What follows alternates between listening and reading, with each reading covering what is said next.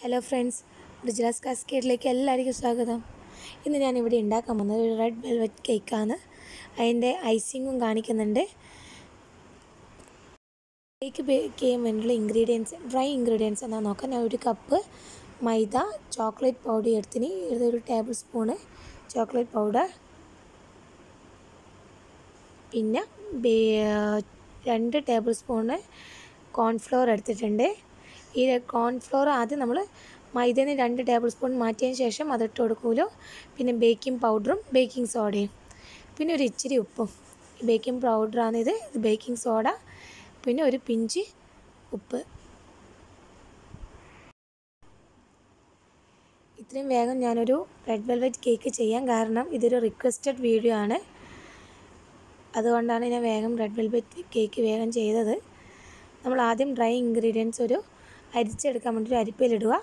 അതിലേന്ന് രണ്ട് table spoon മൈദ നമുക്കത് മാറ്റി വെച്ച് രണ്ട് ടേബിൾ സ്പൂൺ കോൺഫ്ലോർ അതിലേക്ക് ഇട്ട് ബാക്കിയുള്ള ഡ്രൈ ഇൻഗ്രീഡിയൻസിലിട്ട് നന്നായി അരിച്ചെടുക്കണം.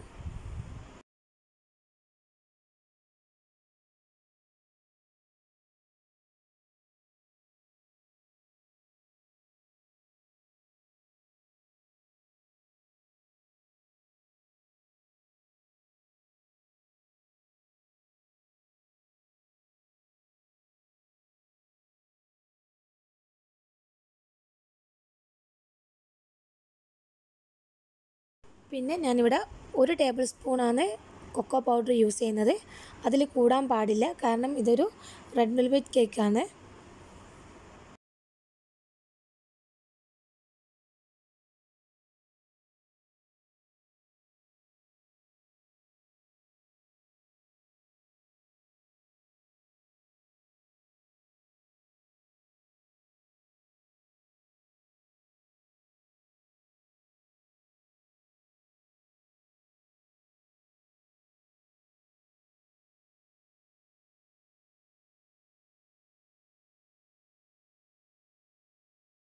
അതുപോലെ നന്നായി അരിച്ചെടുക്കണം.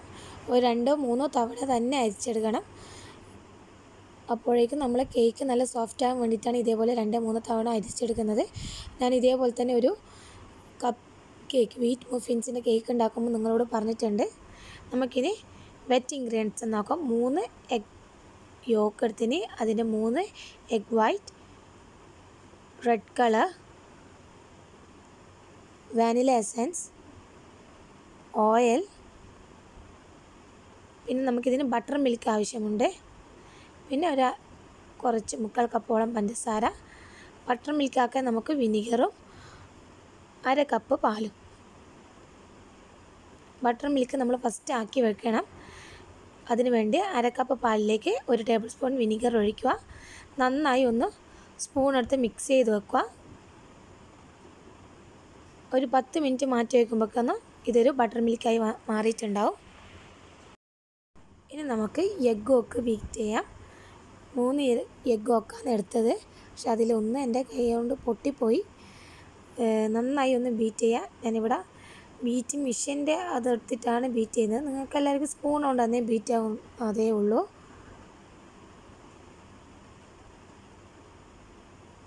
ഒന്ന് നന്നായി ബീറ്റ് ചെയ്യാൻ വേണ്ടിയിട്ട് നമുക്കതിലേക്കൊരു കുറച്ച് പഞ്ചസാര പൊടി ചേർത്ത് കൊടുക്കാം. ഞാനിവിടെ മുക്കാൽ കപ്പ് പഞ്ചസാര പൊടി എടുത്തത്. അതിൽ നിന്നൊരു കുറച്ച് ഒരു അര ടേബിൾ സ്പൂൺ മുതൽ ഒരു ടേബിൾ സ്പൂൺ വരെ ഷുഗർ പൗഡർ ആഡ് ചെയ്ത് കൊടുത്ത് നന്നായി ഒന്ന് ബീറ്റ് ചെയ്തെടുക്കുക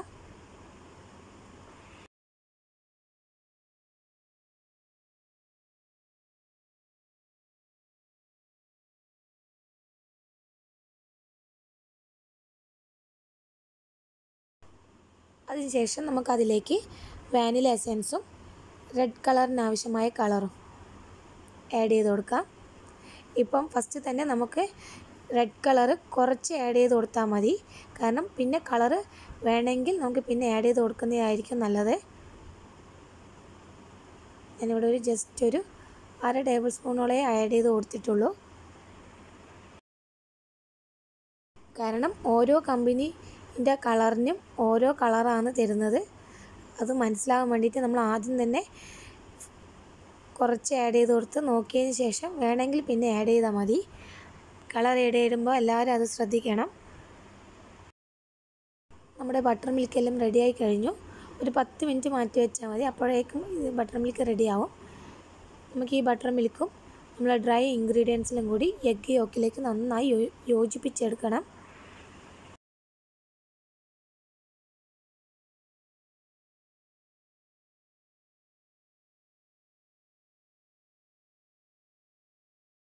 ഡ്രൈ ഇൻഗ്രീഡിയൻസ് നമ്മളൊരു ഒരു ത്രീ ടു ഫോർ പോർഷനായിട്ട് മാറ്റിയിട്ട് വേണം യോജിപ്പിച്ചെടുക്കാൻ. നമുക്കതിലേക്ക് ഓയിലും ഒരു അരക്കപ്പളി ഓയിൽ എടുത്തിട്ടുണ്ട്. സൺഫ്ലവർ ഓയിലോ കോൺ ഓയിലോ നിങ്ങൾക്ക് യൂസ് ചെയ്യാം. അതും അതിലേക്ക് നന്നായി യോജിപ്പിച്ച് കൊടുക്കണം. ഈ അരക്കപ്പ് ബട്ടർ മിൽക്കും അരക്കപ്പ് ഓയിലും നമ്മൾ ഈ ഡ്രൈ ഇൻഗ്രീഡിയൻസ് ഒന്ന് മിക്സാക്കി എടുക്കാൻ കണക്കായിരിക്കും. നമ്മൾ ഡ്രൈ ഇൻഗ്രീഡിയൻസ് എല്ലാം മിക്സാക്കി നല്ലൊരു പേസ്റ്റ് രൂപത്തിലാക്കി. ഇതിലേക്ക് ഇച്ചിരി ഒരു കളർ കുറവായതുകൊണ്ട് ഞാൻ കുറച്ചും കൂടി കളർ ആഡ് ചെയ്ത് കൊടുക്കുന്നുണ്ട്.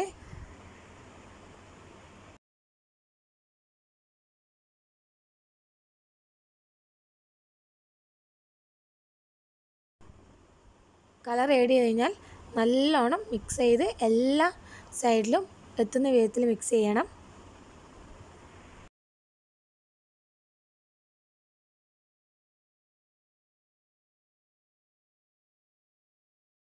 നമുക്കിനി എഗ് വൈറ്റ് ബീറ്റ് ചെയ്തെടുക്കാം.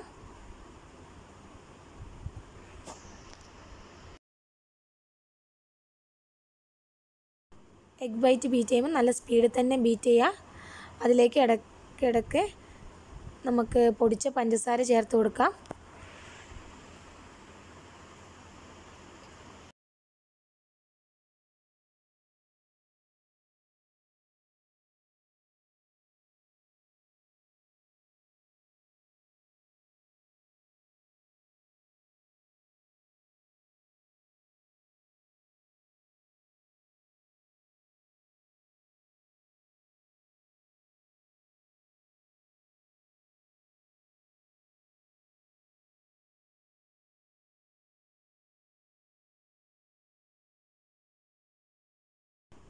നല്ല പ്ലഫി ആയി വരുന്നത് വരെ ബീറ്റ് ചെയ്യാം.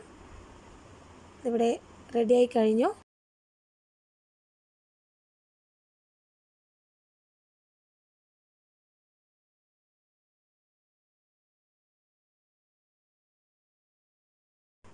ഇനി നമുക്ക് ഫോൾഡ് ചെയ്തെടുക്കണം.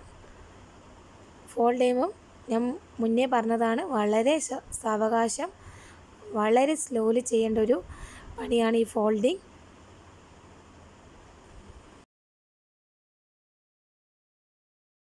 ഞാൻ മുന്നേ പറഞ്ഞതായെങ്കിലും ഒന്നും കൂടി പറയുന്നുണ്ട്.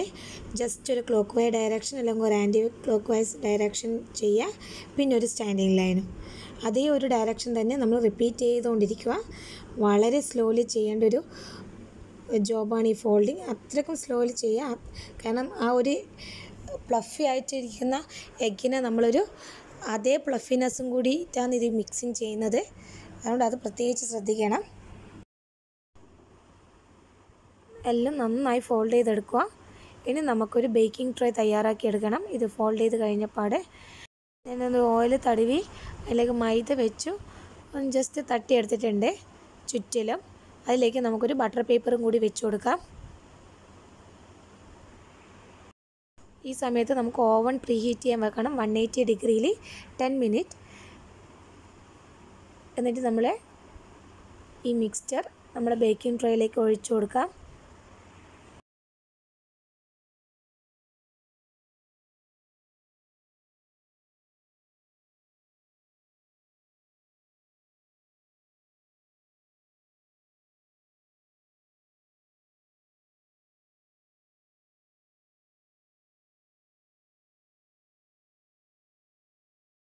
അതിനുശേഷം നമുക്കൊരു ടൂത്ത് പിക്ക് എടുത്തിട്ട് ജസ്റ്റ് ഒന്ന്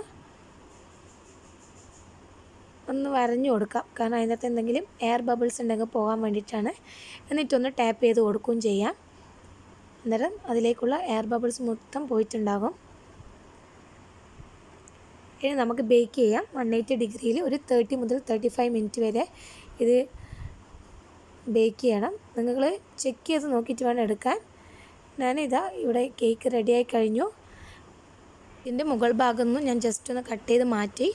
അത് നിങ്ങൾ കളയരുത്. നമുക്കതിന് വേറൊരു യൂസ് ഉണ്ട്. ഇതിന് ചുറ്റുമുള്ളതൊന്നും ജസ്റ്റ് ഇതേപോലെ കൈ ഒന്ന് റബ്ബ് ചെയ്ത് കൊടുത്താൽ എന്തെങ്കിലും പൊടികളുണ്ടെങ്കിൽ അങ്ങ് പോയിക്കോളും.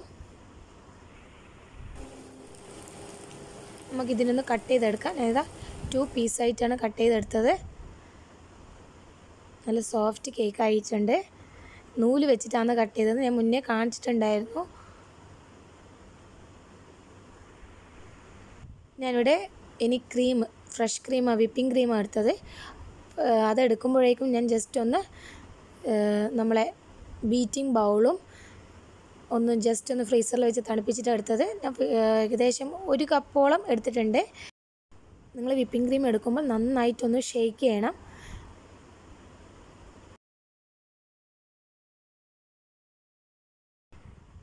ബീറ്റ് ഹൈ സ്പീഡിലിട്ട് തന്നെ സ്പീഡിൽ അടിച്ചു കൊടുത്താൽ മതി. നല്ല വിപ്പിംഗ് ക്രീമായി വരുന്നുണ്ട്.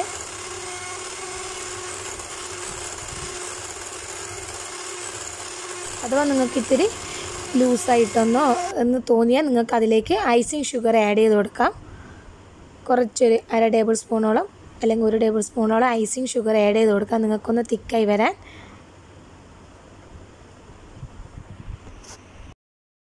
പിന്നെ നമ്മളെ റെഡ് വെൽവെറ്റ് കേക്കിന്റെ മെയിൻ സാധനമാണ് ക്രീം ചീസ് ഞാൻ ഇവിടെ ക്രീം ചീസ് ആഡ് ചെയ്ത് കൊടുക്കുന്നുണ്ട്. ഞാൻ വീട്ടിൽ തന്നെ ഉണ്ടാക്കിയെടുത്ത ക്രീം ചീസാണ് ഞാൻ ക്രീം ചീസ് ആക്കുന്ന വീഡിയോ മുന്നേ ഇട്ടിട്ടുണ്ടായിരുന്നു. നിങ്ങൾക്ക് വേണ്ടിയിട്ട് ഞാൻ ഇതൊരു ഡിസ്ക്രിപ്ഷൻ ബോക്സിലിടാം കാണാത്തവരൊന്ന് കണ്ടു നോക്കുക. ക്രീം ചീസ് പുറത്തുനിന്ന് വാങ്ങുമ്പോൾ നല്ല വിലയുണ്ട്. ക്രീം ചീസ് നമുക്ക് വീട്ടിൽ തന്നെ പെട്ടെന്ന് ഉണ്ടാക്കിയെടുക്കാവുന്നതേ ഉള്ളൂ. ഞാനൊരു ക്രീം ചീസ് ഇതൊരു ബൗളിലേക്ക് മാറ്റിയിട്ടുണ്ട്. അതിലേക്ക് കുറച്ച് വിപ്പിംഗ് ക്രീമും ഇട്ട് മിക്സ് മിക്സ് ആക്കുമ്പോൾ നിങ്ങൾ പ്രത്യേകിച്ച് ശ്രദ്ധിക്കണം. ജസ്റ്റ് ഒന്ന് ഫോൾഡ് ചെയ്തെടുക്കാനേ പാടുള്ളൂ. നമ്മൾ മുന്നേ ചെയ്യാറില്ലേ? നമ്മളെ എഗ് വൈറ്റും നമ്മളെ മറ്റേ കേക്ക് മിക്സ്ചറും കൂടി മിക്സ് ആക്കുന്ന അതുപോലെ ഫോൾഡ് ചെയ്തെടുക്കാനേ പാടുള്ളൂ.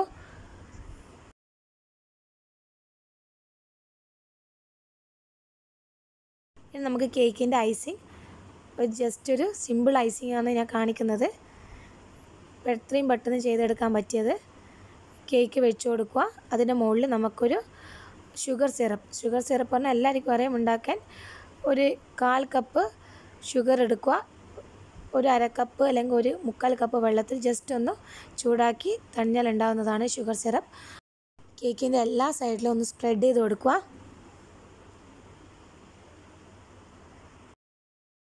ഇത് വളരെ നല്ല സോഫ്റ്റ് കേക്ക് ആയതുകൊണ്ടാണ് വേഗം തന്നെ അബ്സോർബ് ആയി ചെയ്തത്. ഇപ്പോൾ അഥവാ നിങ്ങളത് കുറച്ച് ഹാർഡായി പോയെന്ന് വെച്ചാൽ ജസ്റ്റ് ഒരു നൈഫ് എടുത്ത് ജസ്റ്റ് ഒരു ചെറിയ ചെറിയ ഹോ ഹോൾ ഉണ്ടാക്കാണ്ട്. ജസ്റ്റ് ഒന്ന് അമർത്തി കൊടുത്താൽ മതി. ഷുഗർ സിറപ്പ് അങ്ങ് അബ്സോർബ് ചെയ്ത് പോയിക്കോളും. അതിലേക്ക് നമ്മൾ ആദ്യം ക്രീം ചീസിന്റെ ആണ് ഇടുന്നത്. ഫസ്റ്റ് ഇതിന്റെ ഇന്നർ ലെയർ ക്രീം ചീസ് നിറച്ചിട്ടുള്ളതാണ്.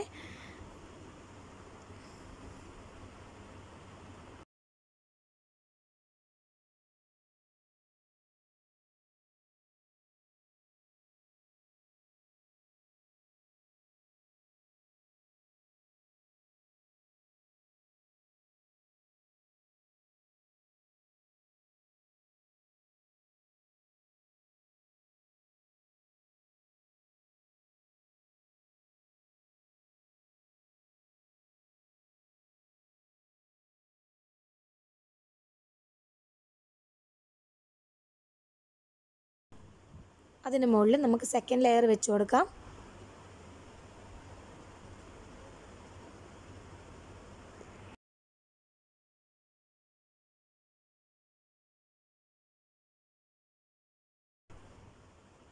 അതിന് മുകളിലും അതേപോലെ ഷുഗർ സിറപ്പ് ഒഴിച്ച് ജസ്റ്റ് ഒന്ന് അബ്സോർവ് ചെയ്യുന്നവരെ വെയിറ്റ് ചെയ്യാം.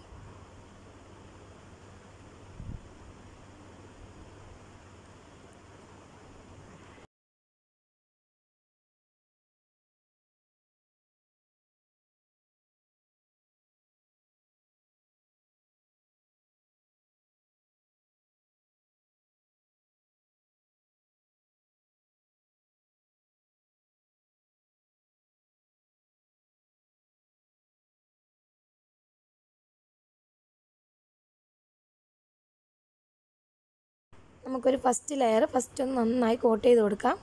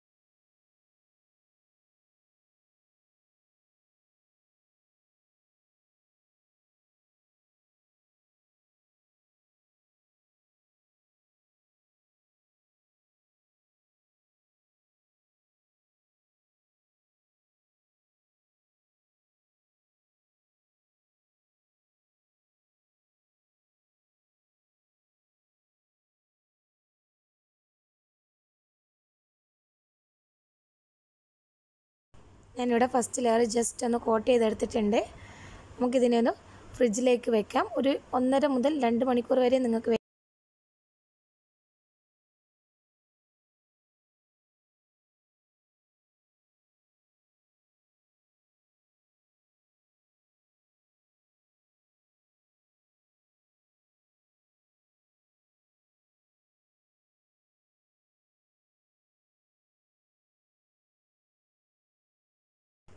നമ്മൾ സെക്കൻഡ് കോട്ട് കൊടു ഞാൻ രണ്ട് മണിക്കൂർ കഴിഞ്ഞു. അതിന് നമുക്ക് സെക്കൻഡ് കോട്ട് ഒന്ന് കൊടുത്തേക്കാം.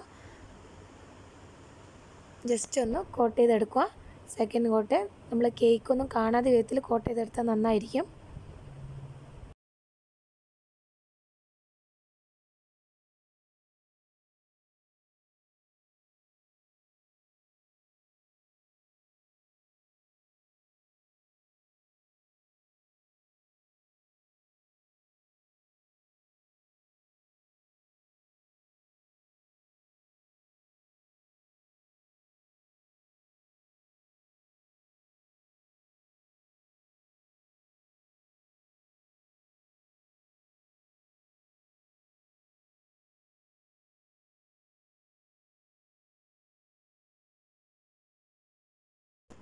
നമുക്കൊന്ന് ഒരേ ലെവലിൽ കിട്ടാൻ വേണ്ടി ഞാനിവിടെ കാർഡ് ഉപയോഗിക്കുന്നുണ്ട്. ഞാൻ മുന്നത്തെ അതേപോലെ കാർഡാണ് ഉപയോഗിക്കുന്നത്.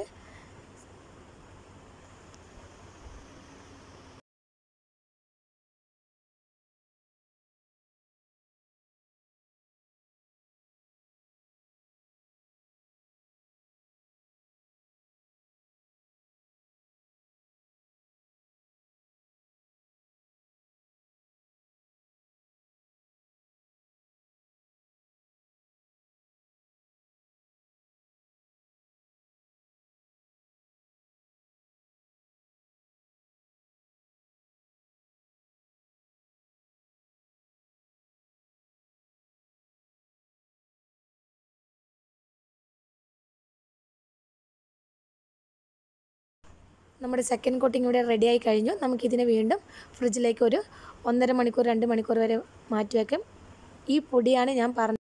കേക്കിന്റെ മുകൾ ഭാഗത്ത് നിന്ന് കട്ട് ചെയ്തെടുത്തത് നമ്മളത് ജസ്റ്റ് ഒന്ന് ഫ്രൈ പാനിലിട്ട് ചൂടാക്കി പൊടിച്ചെടുത്തതാണ്.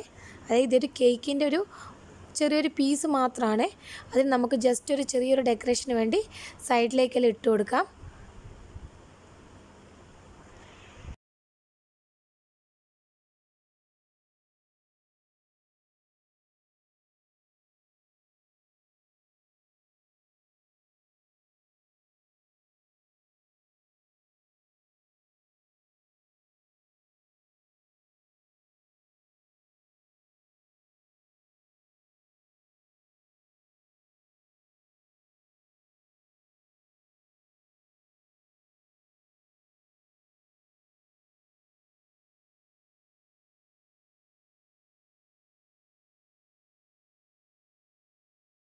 സൈഡിലേക്കെല്ലാം ഒന്ന് ഇട്ട് കൊടുത്തതിന് ശേഷം നമ്മളെ ഒരു തുണി വെച്ച് ബാക്കിയുള്ള ഭാഗം ഒന്ന് ക്ലീൻ ആക്കി എടുക്കണം.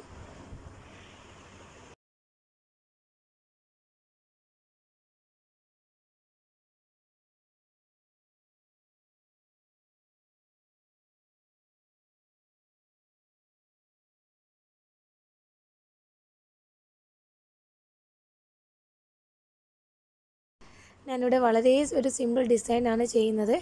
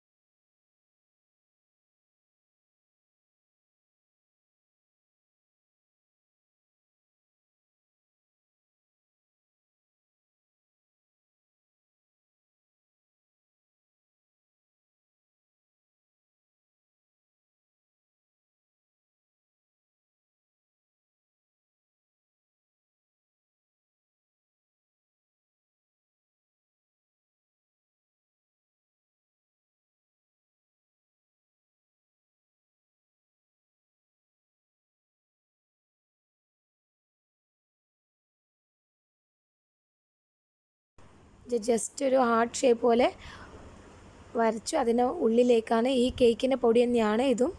കേക്കിന്റെ ഒന്ന് ജസ്റ്റ് ഒന്ന് വറുത്തെടുത്ത് മിക്സിയിൽ പൊടിച്ചെടുത്തത്. അതിന്റെ ചുറ്റിലും ഒരു ഷുഗർ ബോൾ വെച്ചിട്ട് ഞാൻ ഒന്ന് വൃത്തിയാക്കി എടുക്കുന്നുണ്ട്.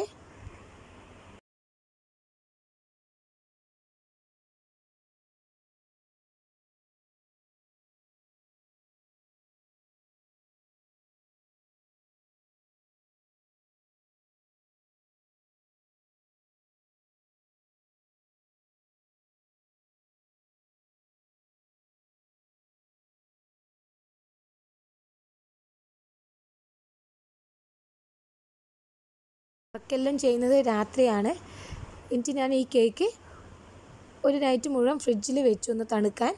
ഒന്ന് സെറ്റാവാൻ സെറ്റാവാൻ വേണ്ടി നമ്മൾ കുറച്ച് സമയം എന്തായാലും വെയിറ്റ് ചെയ്തേ പറ്റൂ. മോർണിംഗിൽ കട്ട് ചെയ്യുന്ന വിചാരിച്ചത് മോർണിംഗ് ആയി. നമ്മൾ കേക്ക് ഇവിടെ റെഡി ആയി കഴിഞ്ഞു. നിങ്ങൾക്ക് കാണാവുന്നതാണ്. നല്ല സൂപ്പർ കേക്ക് ആയിട്ടുണ്ട്. വളരെ സിമ്പിൾ ഐസിങ്ങാണ് ഞാനിവിടെ ചെയ്തത്. നമുക്ക് കട്ട് ചെയ്തെടുത്ത് കാണിച്ചു തരാം